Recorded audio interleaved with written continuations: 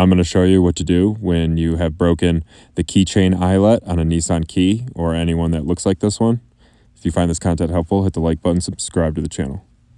So I have my key here and that plastic eyelet for the keychain broke. So now I couldn't attach it to my keys. So I took a 1 16th drill bit and drilled a hole in this exact corner.